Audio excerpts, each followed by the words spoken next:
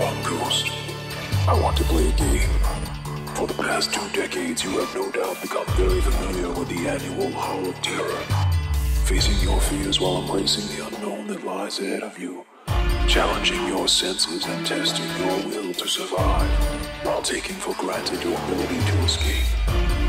Now in this 20th year, I assure you that the rules of the object are no different, but the stakes are much higher. Follow the rules